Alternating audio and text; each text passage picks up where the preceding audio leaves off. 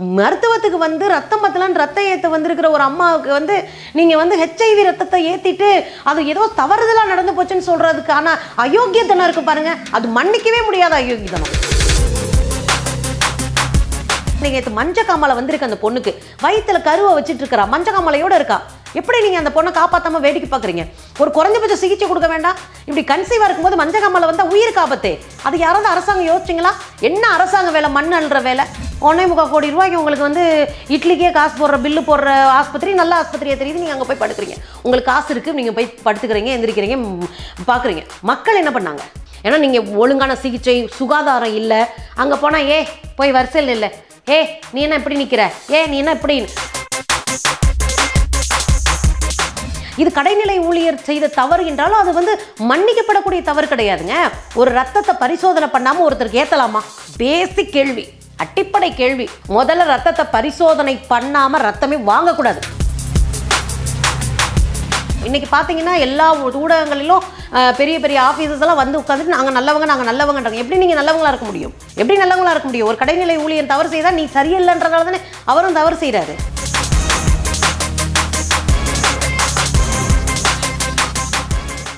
சாத்தூர்ல ஒரு கர்ப்பிணி பெண்ணுக்கு ஹெச்ஐவி உள்ள ஒரு ரத்தத்தை ஏற்றின இந்த சம்பவத்தை நீங்க எப்படி பாக்குறீங்க? இந்தியாவில் சாமானிய ஏழை மக்களுக்கு மருத்துவம் என்பது எட்டா கனவு. என்பதுதான் இந்த விஷயத்தில் நம்ம கண்டுக்கிறது.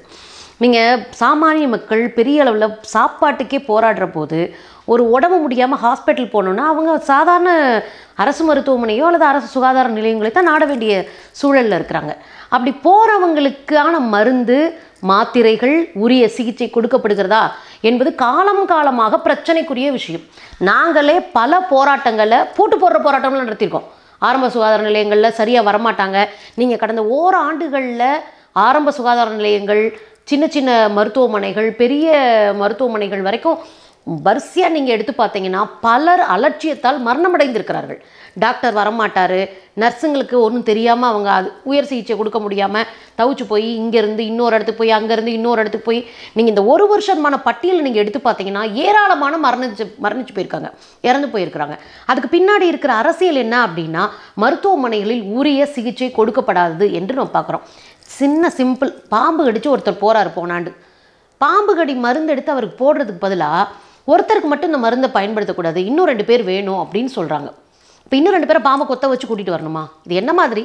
அரசு மருத்துவமனைகள் தான் தஞ்சம்னு வர்ற மக்களுக்கு இப்படி நாய்கடி மருத்துவத்திலேயே அது மாதிரி. அசால்ட்டாக சிகிச்சை கொடுத்துட்டு அதுவும் இன்னும் எண்ணெய் தேய்க்காமல் சாதாரணமாக போன மக்களாக இருந்தால் அவங்கள ஒரு கிள்ளுக்கரையாக கூட மதிக்காமல் சுகாதாரமற்ற வளாகங்களும் மருந்துன்ற பேரில் மிக கேவலமான அரசால் வெளிநாடுகள் தடை செய்யப்பட்ட மருந்துகளை எல்லாம் உள்நாட்டில் கொண்டு வந்து கொட்டுறதும் அது இது மாதிரியான பெரிய பெரிய அரசு மருத்துவமனைகளில் அந்த மருந்துகளை உபயோகப்படுத்துவதும் வெளிநாட்டில் காலாவதியான மருந்து இந்தியாவில் இருக்கிற குழந்தைகளுக்கும் பெண்களுக்கும் அதை பயன்படுத்துவதும் என்கிற சூழல் தொடர்ந்து கொண்டே இருக்கிறது அப்படின்னு நம்ம பார்க்குறோம் எனவே இது கடுமையாக கண்டிக்கின்றோம் கடுமையாக மத் அரசை தமிழக அரசை எச்சரிக்கிறோம். ஒரு சுகாதாரம் என்பது மக்களினுடைய அடிப்படை தேவை. மருத்துவம் சுகாதாரம் வழங்க முடியும்னா நீங்கள் என்ன ஆட்சி நடத்துகிறீங்க மேடையில் நின்றுட்டு உங்கள் சொந்தக்காரன் போகிறோம் வரவெல்லாம் வஞ்சிட்டு இருக்கிறதுக்கும் அல்லது அவங்களுக்கு வந்து கால் கழுவிட்டு இருக்கிறது உங்களுடைய வேலையா? மக்களை என்னைக்கு நீங்கள் பார்க்க போகிறீங்க இவ்வளோ பெரிய அசம்பாவிதம் நடந்திருக்கு. அரசு ஒரு வருத்தம் தெரிவிக்க வேணாம். அந்த பிள்ளைக்கு மேல் சிகிச்சைக்கு என்னன்னு செய்ய வேண்டாம். உழைக்கிறவங்க உயிரெல்லாம் உங்களுக்கெல்லாம் துச்சமாக இருக்கா? எங்களுக்கு ரொம்ப வருத்தமான விஷயம் இந்த நிகழ்வு. மிக கடுமையாக கண்டிக்கிறோம். ஒரு சாதாரண கடைநிலை ஊழியர் செஞ்ச தவறுன்னு இதை எடுத்துக்கலாமா? இல்லை நம்ம எல்லா விஷயத்தையும் கடைநிலையில் இருக்கிறவங்க மேலே பழி போட்டு தப்பிச்சுக்கிறதா நம்மளுடைய நம்மளுடைய ட்ரெண்டாகவே இன்றைக்கி மாறி இருக்குது கடைநிலை ஊழியர் ஏன் அசால்ட்டாக தப்பு செஞ்சுட்டு போகிறாரு சொல்லுங்கள் அவருக்கு மேலே இருக்கிறவர் அவரை கண்டிக்கலை அல்லது அவர் கண்காணிக்கலை அவர் வேலை செய்கிறாரா என்று அவர் பார்க்கல. ஏன் அவர் பார்க்கல? ஏன்னா இவர் வேலை செய்கிறாரான்றதை அவங்க கண்டுக்க மாட்டாங்க.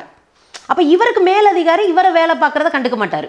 இப்படி தொடர்ந்து தொடர்ந்து மேலே மேலே இருக்கிறவங்க எல்லாம் நம்மளை யாரும் கேள்வி கேட்கக்கூடாது நான் யாரையும் கேள்வி கேட்க மாட்டேன். ஏன்னா அது அரசு வேலை. அரசு வேலை என்பது தூங்குவதற்காக ஒதுக்கப்பட்ட வேலை என்று நீங்கள் நம் நம்பிட்டு இருக்கீங்க. கோடான கோடி சாமானிய மக்களினுடைய உயிர் உங்கள் நம்பி இருக்கு. இது கடைநிலை ஊழியர் செய்த தவறு என்றாலும் அது வந்து மன்னிக்கப்படக்கூடிய தவறு கிடையாதுங்க. ஒரு ரத்தத்தை பரிசோதனை பண்ணாமல் ஒருத்தருக்கு ஏற்றலாமா பேசிக் கேள்வி. அடிப்படை கேள்வி. முதல்ல ரத்தத்தை பரிசோதனை பண்ணாமல் ரத்தமே வாங்கக்கூடாது. அப்போ வாங்கின ரத்தத்தை ஏற்றதுக்கு முன்னாடியாவது நீங்கள் பரிசோதனை பண்ணீங்களா? சரி ஹெச்ஐவி கிருமி இருக்குது அது ஆறு மாதம் கழிச்சு தான் தெரியும்னு கூட தெரியாமல் அவர் வந்து ரத்தத்தை கொடுத்துட்டு போயிட்டாரு. நீங்கள் செக்கப் பண்ணாமல வாங்கிட்டீங்க. அதை கொண்டு வந்து ஏற்றுறதுக்கு முன்னாடி நீங்கள் செக் பண்ண வேண்டாம்? அப்புறம் எப்படி நீங்கள் ஏற்றுனீங்க இது அடிப்படையான விஷயத்தையும் செய்ய முடியலன்னா அரசு எந்திரம் தோற்று போயிருக்கிறது என்று தானே அர்த்தம். இது எப்படி சாமானிய கடைநிலை ஊழியர் என்ற வகையில் மன்னிக்க முடியும்? நீங்கள் ஈஸியாக செஞ்சுட்டு மன்னிப்பு கேட்டுட்டு போனீங்கன்னா அந்த சாதாரண கூலி தொழிலாளி வீட்டில் இருக்கிற பெண்ணுக்கு என்ன பதில் சொல்ல போகிறீங்க முன்னாடி ஒரு குழந்தை இருக்குது வயிற்றுல ஒரு குழந்தை நேற்று மஞ்சக்காமலை வந்துருச்சு அந்த அம்மாவுக்கு. என்னதான் பண்ண போகிறாங்க இப்போ சாமானியர் உயிர் வந்து கடைநிலை ஊழியர் ஊ- கடைநிலை ஊழியர்ன்ற பேரில் எல்லாம் காவு கொடுக்க முடியாது. எனவே அவரவருக்கான வேலைகள் செய்யாமல் இருப்பது மிக கேவலமான அறமற்ற செயல் என்று தான் நான் சொல்லுவேன். எனவே இது கடைநிலை ஊழியர் தண்டிக்கப்பட வேண்டும். அவனால் நீங்கள் என்ன பிரிவின் கீழ் தண்டனை கொடுத்துருக்கீங்க? மிஞ்சி போனால் ரெண்டு வருஷம். இதில் என்ன மாற்றம் வரப்போகுது? புரியவே இல்லை எனக்கு. குறைஞ்சபட்சம் வேலையிலேருந்து தூக்குங்க. ஒரு அச்சம் வரட்டும் பொருளாதார பிரச்சனை வரட்டும். அப்பதானே ஒரு அச்சம் வரும். அப்போ வேலையிலேருந்து தூக்கிட்டு அவருக்கு தனி உரிய தண்டனை முத கொடுங்க அப்புறம் கொடுங்க. வெறும் ரெண்டு வருஷம் தண்டனை ஆறு குறைந்தது ஆறு மாதம் அப்படின்னு இடையில ஒரு ஜாமீனை கொடுத்து நீங்கள் வீட்டுக்கு அனுப்பிட்டீங்கன்னா இந்த தொடரத்தான் செய்யும் என்ன பண்ண போகிறீங்க இந்த சம்பவத்துல தவறு செஞ்ச ஒரு சாதாரண கடைநிலை ஊழியரை பணியிடை நீக்கம் செய்யறது மட்டும் சரியாகுமா? நிச்சயமா இல்ல. இதுக்கு சம்பந்தப்பட்ட அத்தனை உயர் அதிகாரிகள் வரையான ஒரு பெரிய நெட்வொர்க் வந்து இது பண்ணணும். இன்னைக்கு பாத்தீங்கன்னா எல்லா ஊடகங்களிலும் பெரிய பெரிய ஆஃபீஸர்ஸ் எல்லாம் வந்து உட்காந்துட்டு நாங்க நல்லவங்க நாங்க நல்லவங்கன்றாங்க. எப்படி நீங்க நல்லவங்களா இருக்க முடியும்? எப்படி நல்லவங்களா இருக்க முடியும்? ஒரு கடைநிலை ஊழியர் தவறு செய்தா நீ சரியில்லைன்றதால தானே அவரும் தவறு செய்கிறாரு உன்னை உன்னை வந்து நீ- உன்னை வந்து காட்டி கொடுக்கக்கூடாது நீ நினைக்கிறனால அவர் உங்க கூட சேர்ந்து தவறு செஞ்சுட்டு படிநிலைகளில் எல்லோரும் கரப்டாகி போய் இருக்கிறனாலையும் அரசு வேலை கிடைச்சோடனே சோம்பேறிகளாக தன்னை மாற்றிக்கொண்டதுனாலையும் யார் என்ன கேட்பாங்க அப்படின்ற தெனாவட்டாலையும் தான் இன்னைக்கு இவ்வளோ பெரிய உயிர் பலி கொடுக்குற அளவுக்கு ஒரு அம்மாவுக்கு வந்து ஹெச்ஐவி ஹெச்ஐவி அவ்வளோதான் நீங்கள் என்ன பண்ணாலும் அதை காப்பாற்றுறதுக்கு இன்னும் நீங்கள் மருந்து கண்டுபிடிக்கல. எவ்வளோ உயர் சிகிச்சை கொடுத்தீங்கன்னா ஆரோக்கியமாக அவங்க இருந்தாங்கன்னா கொஞ்சம் நாளைக்கு தாக்கு பிடிக்கலாம். அவ்வளோதான் ஒரு ஏழை எளிய வீட்டில் ஒரு ஹெச்ஐவி கிருமி வந்தால் என்ன பண்ணுவாங்க? ஒன்றுமே பண்ணுறதுக்கு இல்லைங்க. உயர் இருந்து விசாரணை நடத்தி இன்னைக்கு உச்ச உயர்நீதிமன்றம் கையில் எடுத்திருக்காங்க இந்த இதை. மிக கடுமையான தண்டனை உயரதிகாரிகள் வரை கொடுக்கணும். அப்படி கொடுத்தாதான் மக்களுக்கு அரசின் மீதும் மருத்துவத்துறையின் மீதும் ஏன் நீதிமன்றத்தின் மீதும் நம்பிக்கை வரும். எனவே நீதிமன்றம் உண்டு இல்லைன்னு விடாமல் இப்போ இன்னைக்கு எப்படி சுயமோட்டாவாக இந்த வழக்கை நீங்கள் கையில் எடுத்திருக்கிறோம் நீதிமன்றம் கையில் எடுத்திருக்கிறதோ அதே மாதிரியான நீதியை வழங்கினால் உண்மையிலே மக்கள் நீதிமன்றத்தின் மீது ஒரு மரியாதையான ஒரு ஒரு நம்பிக்கை வைப்பார்கள். இந்த சம்பவத்தை பத்தி தெரிய வந்தப்போ உங்களுடைய மனநிலை எப்படி இருந்துச்சு? அதிர்ச்சியாக இருந்தது. எனக்கு ஏற்கனவே நான் இது தொடர்பாக தொடர்ந்து இந்திய சூழலில் இருக்கிற சுகாதாரம் மருத்துவம் குறித்து நிறைய பேசிக்கிட்டும் எழுதிக்கிட்டும் நம்ம அது சம்மந்தமாக வாசிச்சுட்டு இருக்கிறோம். நீங்கள் பார்த்தீங்கன்னா இந்தியாவில் வாடகை தாய் முறை வந்து உலகத்திலே அதிக அளவில் இந்தியாவில் இருக்குன்னு நம்ம படிக்கும்போது உள்ள மனசே திடுக்குது. நம்ம இந்த விஷயங்கள்லாம் படிச்சுட்டு இருக்கிற போது இதை விட திடுக்கிற ஒரு விஷயம் என்னன்னா மருத்துவத்துக்கு வந்து ரத்தம் பத்தலான்னு ரத்த ஏற்ற வந்திருக்கிற ஒரு அம்மாவுக்கு வந்து நீங்கள் வந்து ஹெச்ஐவி ரத்தத்தை ஏற்றிட்டு அது ஏதோ தவறுதலாக நடந்து போச்சுன்னு சொல்கிறதுக்கான அயோக்கியத்தனம் இருக்குது பாருங்கள் அது மன்னிக்கவே முடியாத அயோக்கியத்தனம். இது எப்படிங்க வ- அந்த நியூஸை நான் டிவியில் கேட்கும்போது அதிர்ச்சியில் இருந்தேன். இப்போ சாமானிய மக்கள்லாம் உங்களுக்கு கிள்ளுக்கிறீங்க. நான் உட்பட எல்லாரும் நாங்கள் மரு அரசு மருத்துவமனைக்கு தாங்க போகிறோம் எம்பளா அரசாங்க ஸ்கூல் தான் படிக்குது. அரசு மருத்துவமனை தான் நாங்கள் போகிறோம் இப்போ என்ன பண்ணுவீங்க நீங்கள் இப்போ அரசு மருத்துவமனை இதுக்கெல்லாம் போகிறவங்கலாம் காவு கொடுக்கணும்னா நாங்கள் வேடிக்கை பார்க்க மாட்டோம். ஏன்னா அரசு சுகாதாரம் கல்வி மருத்துவத்தை இலவசமாக கொடுத்து ஆகணும். அது உங்கள் கடமை. அதை செய்கிற வரைக்கும் நாங்களும் விட மாட்டோம். தொடர்ந்து போராடுவோம். தொடர்ந்து அரசுக்கு நெருக்கடி கொடுப்போம். இது மாதிரியான ஒரு சம்பவம் நடந்ததுக்கு அப்புறமா மக்களுக்கு அரசு மருத்துவமனை மேல உள்ள ஒரு நம்பிக்கை எந்த அளவுக்கு குறையும்னு நினைக்கிறீங்க? நிச்சயமா. இன்னைக்கு பாதி பேர் பெரிய அளவில் கடனை உடனே வாங்கியாச்சும். ஒரு தனியார் ஆஸ்பத்திரிக்கு போயிடுவோம் அவங்க தான் நல்லா பார்ப்பாங்கன்ற உளவியலுக்கு வந்துட்டாங்க. இது வந்து வேண்டும்னே அரசு வந்து செட்டப் பண்ண உளவியல் தான். நீங்கள் தனியார் மருத்துவமனையை எந்த செக்கப் இல்லாது அங்கே மருத்துவ உடனே அப்படியே பூத்துக்கெல்லாம் குழுங்கலைங்க அங்கேயும் ஏகப்பட்ட ஃப்ராடுத்தனமும் ஏகப்பட்ட ஏமாற்று வேலையும் அங்கேயும் நடக்குது. நம்ம கண்ணார பார்த்துட்ருக்குறோம். கோடி லட்சக்கணக்கில் அதை விற்று இதை விற்று ஆட்டை விற்று மாட்டை விற்று நிலத்தை விற்று எப்படியாவது ஒரு உசுரை காப்பாற்றிட்டு வந்துடலாமா அப்படின்னா பணத்தை போட்டுட்டு காசு வாங்குற கோஷ்டியெல்லாம் நம்ம எத்தனை தடவை பார்த்துட்டோம். மிக சமீபத்தில் கூட நம்ம பார்த்தோம் அப்படி ஒரு கேசஸை அப்போ தனியார் மருத்துவமனைகள் மற்றும் பயங்கரமான சிகிச்சை கொடுக்கறது இல்லை ஆனால் அரசு மருத்துவமனையில் கொடுக்கிற நெருக்கடியின் காரணமாக அது நம்பிக்கையற்ற தனத்தின் காரணமாக நம்ம அங்கே மருத்துவ மருத்துவம் பக்கம் போக அச்சப்படுறோம். ஒருவேளை போய் காப்பாற்றாமல் விட்டாங்கன்னா ஒருவேளை இவங்க காப்பாற்றிட்டாங்கன்னா தனியார் மருத்துவமனை அப்படின்றதுக்காக எவ்வளவும் கடன் வாங்கி கூட செலவழிக்கிறதுக்கு தயாராக இருக்கிறோம் அப்படின்ற சொல்ல ஏற்கனவே அரசாங்கம் ஒரு அட்டை வேற கடன் அட்டை வேற கொடுத்துட்டாங்க. அது மருத்துவ அட்டை வேற. அதை வச்சுட்டு எப்படியாவது தனியார் ஆஸ்பத்திரியில் போய் பார்த்துடலாம் அப்படின்ற முடிவுக்கு இன்றைக்கு மக்களை இது மாதிரியான சம்பவங்கள் தள்ளி கொண்டே இருக்கும். ஏன்னா நீங்கள் ஒழுங்கான சிகிச்சை சுகாதாரம் இல்லை. அங்கே போனால் ஏ போய் வரிசையில் இல்லை ஏ நீ என்ன இப்படி நிற்கிற ஏ நீ என்ன இப்படி எதுக்கு எடுத்தாலும் புண்ணு கட்ட போகிறதுக்கு காசு மருந்து போடுறதுக்கு காசு எல்லாத்தையும் காசு காசுனா வேடிக்கை எப்படி பார்க்க முடியும்?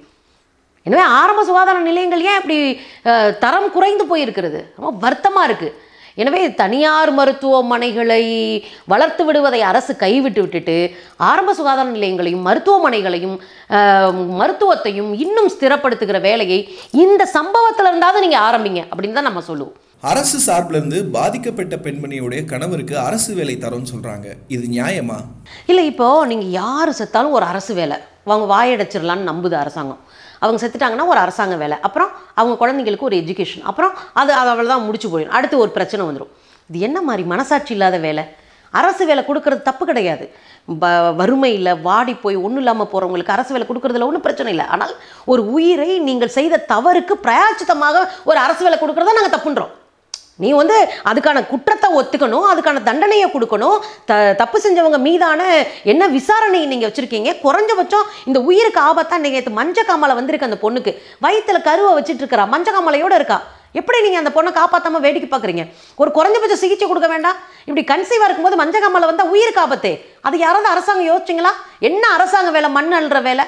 நீங்கள் எனக்கு என்ன விஷயம் அப்படின்னா உரிய மருத்துவத்தை கொடுக்காம உரிய சுகாதார நடவடிக்கை எடுக்காம தப்புக்கு தண்டனை கொடுக்காம அரசு வேலை என்பது ஏமாற்று வேலை அப்படின்றத நாங்கள் முன்வைக்க வேண்டியது இருக்கு. எனவே நீங்கள் எல்லாத்தையும் கொண்டுட்டு கடைசியில் வீட்டில் இருக்கிற ஒருத்தருக்கு அரசு வேலை கொடுக்குற மாதிரியான அநீதி உலகத்திலே கிடையாதுன்னு தான் நான் சொல்லுவேன். நூறு சதவீதம் மக்கள் தொடர்ந்து கேட்கிற கேள்வி. ஏங்க நாங்கள்லாம் அரசாங்க ஆஸ்பத்திரிக்கு போகிறோம் ஏங்க பெரிய பெரிய மந்திரி பெரிய பெரிய ம- மினிஸ்டருங்க பிரதம மந்திரி பெரிய முதல் மந்திரி இங்கே இருக்கிற உள்ள இருக்கிற மந்திரிங்கெல்லாம் இல்லை பெரிய பெரிய அப்பளோ ஆஸ்பத்திரி மாதிரி பெரிய ஆஸ்பத்திரியில் தான் போய் படுக்கணும். அப்படின்னா சாதாரண ஆஸ்பத்திரிலாம். ஒன்றே முக்கால் கோடி ரூபாய்க்கு உங்களுக்கு வந்து இட்லிக்கே காசு போடுற பில்லு போடுற ஆஸ்பத்திரி நல்ல ஆஸ்பத்திரியாக தெரியுது நீங்கள் அங்கே போய் படுக்கிறீங்க. உங்களுக்கு காசு இருக்குது நீங்கள் போய் படுத்துக்கிறீங்க எந்திரிக்கிறீங்க பார்க்குறீங்க. மக்கள் என்ன பண்ணாங்க? அப்போ மக்கள்கிட்ட நியாயமாக கேட்பாங்கல்ல? நாங்கள் ஓட்டு போட்டு நீங்கள் மே மேலே வர்றீங்க அமைச்சராகிறீங்க மந்திரியாக இருக்கீங்க. ஆனால் நீங்கள் மட்டும் சுகாதாரம் உங்களுடைய உங்களுடைய மருத்துவம் அப்படின்னா பெரிய பெரிய ஆஸ்பத்திரி போகிறீங்களே நாங்கள் வர்ற ஆஸ்பத்திரியில் இவ்வளோ கேவலமாக இருக்கே ஒருத்தராவது போய் பார்த்தீங்களா அப்படின்னு கொஞ்ச நாளைக்கு முன்னாடி குழந்தைங்கள எலி கடிச்சு வச்சது. பிணத்தை எலி கடிச்சிச்சு போன மாதம் ஒரு பணத்தை எலி கடிச்சிச்சு இல்லை நீங்கள் பார்த்தீங்கல்ல ஊடகங்கள் அதை காமிச்சாங்கல்ல. அப்போ என்ன நிலையில் இருக்குது அப்போ நீ பணக்காரர்களுக்கு ஒரு ஆஸ்பத்திரி ஒரு சுகாதார சூழல் ஒரு மருத்துவ சூழல் ஏழைகளுக்கு ஒரு மருத்துவ சூழல்னு ஒரு வர்க்கமாக மருத்துவத்தை பிரித்து வச்சிருக்கீங்களே இது எப்படி நியாயமாக இருக்க முடியும்? இந்த மாதிரி அரசு மருத்துவமனைகளில் உள்ள பிரச்சனைகளை தீர்க்கிறதுக்கு வழி என்ன? முதல்ல மருத்துவ பற்றாக்குறை அரசு மருத்துவமனையில் அதிகம். இந்தியாவிலே அதிகமான மருத்துவ பற்றாக்குறை அரசு துறையில் தான் இருக்குது மருத்துவர்கள் பற்றாக்குறை. அதுக்கு காரணம் என்ன அப்படின்னா பெரிய பெரிய பணக்காரங்க வந்து மருத்து மெடிக்கல் சீட்டை எத்தனை கோடி கொடுத்து வாங்கி படிச்சிடுறாங்க. படிச்சுட்டு அவங்க வெளிநாட்டுக்கு போயிடுறாங்க. அல்லது பெரிய பெரிய மல்டி ஸ்பெஷாலிட்டி ஹாஸ்பிட்டல்ஸில் பெரிய சம்பளத்துக்கு வேலைக்கு போயிடுறாங்க. அப்போ அரசு மருத்துவமனைகளில் பெரிய பதவிக்கோ பொறுப்புக்கோ யாரும் வரதில்லை. அப்போ மருத்துவர்கள் பற்றாக்குறை செவிலியர்கள் பற்றாக்குறை. நீங்கள் அரசு சுகாதார இதில் இதில் பார்த்தீங்கன்னா எவ்வளோ தேவையோ அந்த ஆட்கள் பணியாட்கள் இல்லை. அப்போ எக்யூப்மெண்ட்ஸோடைய பற்றாக்குறை. பெரிய பெரிய எக்யூப்மெண்ட்ஸ் வந்துருச்சுன்னு சொல்லிட்டு ஆஸ்பத்திரியெல்லாம் பயங்கரமாக இது பண்ணுறாங்க ஆனால் அரசு துறைகளில் வருகிற எக்யூப்மெண்ட்ஸ் ஒரு நாலு வாங்கினாங்கன்னா நாலு மெட்ரோபாலிட்டன் சிட்டி மாதிரியான பெரிய இடங்களில் மட்டும் இருக்கும். மற்ற ஊர்களில் வழக்கம் போல் அந்த ஆத்தா மாத்திரை தமிழ்நாடு அரசாங்கம்னு ஒரு மாத்திரை இருக்கும். அதை மாத்திரம் வாங்கி சாப்பிட்டு போகிற மாதிரி இருக்குது ஸோ இந்த சிஸ்டத்தை மாற்றணும் முதல்ல எல்லா நெ பணியிடங்களை நிரப்பணும். ரெண்டாவது ஆரோக்கியமான சூழலில் ஹாஸ்பிட்டல்ஸ் இருக்கணும். எங்கே பார்த்தாலும் இல்லை நான் எனக்கு தனியார் ஆஸ்பத்திரியில் யாரும் எச்சி துப்பலையே எனக்கு பேசிக்காக இருக்குது மக்களும் சேர்ந்து தான் அதை திருத்திக்கணும். தனியார் ஆஸ்பத்திரியில் யாரும் எச்சி துப்பலை. அதுக்கு ரீசன் என்னென்னா அதை சுத்தமாக அவன் பராமரிக்கிறான். எச்சி துப்ப வந்தால் கூட பிடிச்சி வெளியே தள்ளிடுறான். ஆனால் அரசு ஆஸ்பத்திரியில் அதுக்கான சூழல் இல்லை. தெரு தெருவுக்கு குப்பை குப்பையாக போட்டு எச்சி எச்சியாக துப்பிட்டு வர்றோம். ஸோ அந்த சுகாதாரமான சூழலை அரசு கை கொள்ளணும். நீங்கள் அதெல்லாம் தனியாருக்கு டெண்டர் விட்டுருக்கீங்க. அவங்க பத்து நாளைக்கு ஒரு தடவை வந்து படுத்துக்கிறாங்க. அப்போ அவங்க பாட்டு க்ளீன் பண்ணதாக சொல்லிட்டு ஏமாற்றி சம்பளத்தை வாங்கிட்டு போகிறாங்க ஸோ அதை முதல்ல அரசாங்கம் நிப்பாட்டணும். மூணாவது மக்கள் எந்த சூழல்லையும் அரசு மருத்துவமனை நமக்கானது நம்பணும். இன்னொன்று நல்லா ஞாபகம் வச்சுக்கோங்க. சில முக்கியமான வியாதிகளுக்கு நீங்கள் பாம்பு கடிக்கு எந்த இடத்துல போய் மருந்து போட்டாலும் நல்ல மருந்து உங்களுக்கு கிடைக்காது. அதே மாதிரி நாய்க்கடிக்கும் நல்ல மருந்து உங்களுக்கு அரசில் தான் உடனடியாக மாற்றி மாற்றி புது மருந்துகள் வந்துக்கிட்டே இருக்கும். அதனால இது மாதிரியான சிறப்பு சிகிச்சையெல்லாம் அரசாங்க ஹாஸ்பிட்டல்ஸில் நிறைய இருக்குது நம்ம பயம் பயன்படுத்தாமல் இருக்கோம். நம்ம உள்ளே போவோம். உள்ளே போடாத நல்லது கெட்டது தெரியும். அதனால் தைரியமாக போவோம். அரசு மருத்துவமனையை கைப்பற்ற வேண்டியதும் அதை சீர்படுத்த முடியும் அரசாங்கத்துக்கு எவ்வளோ உரிமை இருக்கிறதோ எவ்வளோ அரசாங்கம் செய்ய வேண்டுமோ அதுக்கு ஈக்குவலாக அதை பயன்படுத்துகிற மக்களுக்கும் அது சார்ந்த அறிவும் அது சார்ந்த புரிதலும் அது சார்ந்த அறத்தோட நின்று போராடுறதுக்கான சூழலும் உண்டாக்கணும்னு நான் நினைக்கிறேன். இது இருந்தால் தான் குறைந்தபட்சம் மாற முடியும். இதுக்கு இன்னொன்று நீங்கள் ஞாபகம் வச்சுக்கோங்க. அரசு மருத்துவர்கள் பற்றாக்குறைன்னு சொன்னோம்ல எங்கேருந்து கூட்டிகிட்டு வர போகிறோம் மருத்துவர்களை? நீங்கள் நீட்டுன்னு ஒன்று கொண்டு வந்தீங்கல்ல அது இதோட லிங்க் ஆகுது பாருங்கள் நீங்கள் நீட்டுன்ற பேரில் பணக்காரங்களுக்கு தானே சீட்டு கொடுத்தீங்க. பணக்காரன் பூரா பெரிய ஆஸ்பத்திரி போயிட்டான்ல. என் வீட்டு பிள்ளை படிச்சிருந்துச்சுன்னா இந்த ஆஸ்பத்திரிக்கு வந்திருக்கும்ல. என் ஊராளுகளை பார்க்கறதுக்கு வந்திருக்கும்ல. அப்போ என் வீட்டு பிள்ளைங்கெல்லாம் படிக்க விடாமல் ஆக்கி நீட்டுன்ற பேரில் அனிதாவை தூக்கில் தொங்க வச்சிங்களே. அது தொங்குறது வந்து கொலை தான் பண்ணீங்க நீங்கள் தூக்கில் தொங்க விட்டீங்க. நீங்கள் கொலை பண்ணீங்க. கவர்மெண்ட் கொலை பண்ணுச்சு. இப்போ இதெல்லாம் கூட்டி கழிச்சு பாருங்கள் லிங்க் இருக்குது இதுக்குள்ளலாம் அப்போ என் வீட்டு பிள்ளை மருத்துவம் படித்தா மட்டும்தான் என் வீட்டு பிள்ளை சாமானிய வீட்டு பிள்ளைங்க ப- மருத்துவம் படித்தாதான் அது சமூகத்துக்கான மாறும். நீங்கள் இப்பயும் அரசாங்க மருத்துவமனையில் வேலை பார்க்குற பிள்ளைங்க யார்? மேக்ஸிமம் சாதாரண வீட்டிலேருந்து வந்த பிள்ளைங்க தான்.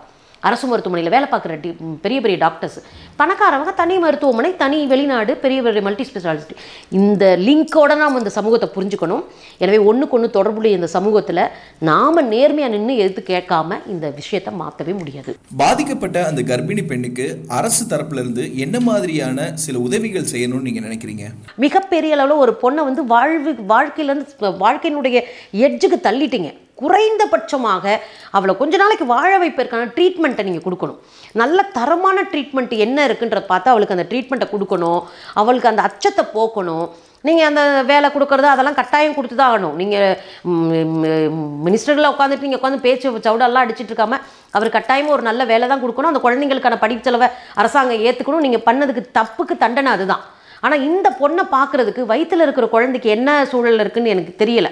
ஒருவேளை எய்ட்ஸு வயிற்றுக்குள்ளே இருக்கிற குழந்தைக்கு வராமல் தடுப்பூசியின் மூலமாக காப்பாற்றுற மருத்துவம் இன்னைக்கு வந்துருச்சு. கொ- முன்னாடியெல்லாம் வயிற்றுக்குள்ளே இருக்கிற குழந்தைக்கும் வர மாதிரி தான் சூழல் இருந்துச்சு. இன்றைக்கி அதுக்கு மருந்து கண்டுபிடிச்சிட்டாங்க. எனவே அது தடுப்பூசியை போட்டு அது வயிற்றுல இருக்கிற குழந்தையை காப்பாற்றுறதுக்கான முயற்சியை பண்ண வேண்டியிருக்கு. இப்போ ரெண்டு உயிருக்கு தீங்கு இழைச்சிருக்கு இந்த அரசு.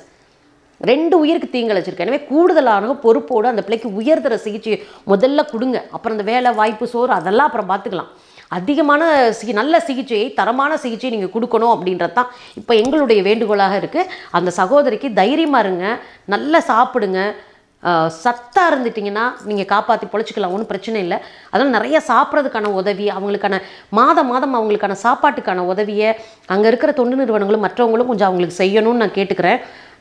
ஏன்னா எனக்கு தெரிஞ்ச அங்கே இருக்கிற நண்பர்கள் எல்லாம் எய்ட்ஸால் பாதிக்கப்பட்ட குடு கு- இருக்கிற அந்த பாதிக்கப்பட்ட நபர்களுக்கு சத்தான பொருட்கள் வாங்கி பொருளாகவே மாதம் மாதம் கொடுத்துட்றாங்க. ஏன்னா பணமாக கொடுத்தா அவங்க வாங்கி சாப்பிடாம செலவழிச்சிருவாங்கன்னு. ஸோ அந்த பொருளுடைய உதவி அவங்களுக்கு கிடைக்கிறதுக்கான ஏற்பாடை நம்ம செய்யலாம். நம்ம நண்பர்களோட நம்ம பேசலாம். தைரியமாக இரு தைரியமாக இரு தங்கச்சி. நல்லா இரு நல்லா இருங்க. தைரியமாக இருங்க. நாங்கள் இருக்கிறோம். உங்களுக்காக தொடர்ந்து போராட்ட குரலை நாங்கள் கட்டாயம் சமூக வழியில் உயர்த்தி பிடிச்சிட்டே இருப்போம். இனி இது மாதிரியான யாருக்குமே நிகழாத மாதிரியான ஒரு சூழலுக்காக நம்ம தொடர்ந்து போராட வேண்டியிருக்கு. நாங்கள் போராடுறோம். அரசு அந்த பிள்ளைக்கு உயர்த்தகு உயர் தரமான சிகிச்சையையும் நல்ல சத்தான உணவையும் அந்த பிள்ளை உயிரோடு இருக்கிற வரைக்கும் நீங்கள் கொடுத்து தான் ஆகணும். அதுதான் நீங்கள் செய்ய வேண்டிய ஒரே வேலை.